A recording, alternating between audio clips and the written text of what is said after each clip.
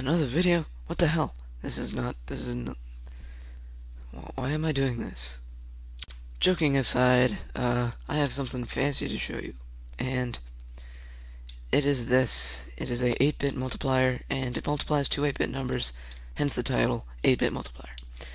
So if we go over here and poke the reset button from the last take, because I suck at recording videos, uh, we can see uh, previous values gone out of there. But anyways, that's beside the point. Um, let's, let's multiply some numbers together. So let's multiply the iconic number 42 uh, yeah, 42 times 65. So, yeah. We go up here and we poke the magical button that uh, calculates every, everything for us because I'm a dumb American.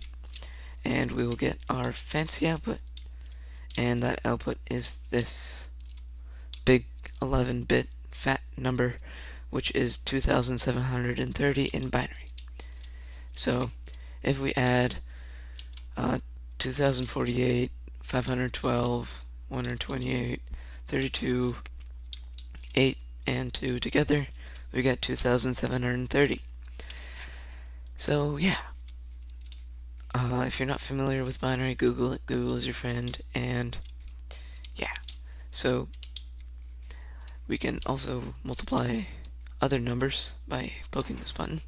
And I'm getting random lag spikes for no reason whatsoever. So let's uh let's do five times oh god lag. Five times two. Uh this will be insanely hard for it to calculate. I wonder what it'll be. And here it is. 10 10 in binary. 2 plus 8, that's 10. And yeah, it's fancy like that. So, there's not much to say other than, other than fancy multiplier. So, fancy multiplier. Uh, I'll see you guys next time, and uh, goodbye. Yeah, thanks for watching, and there's the server IP if you want to play on it.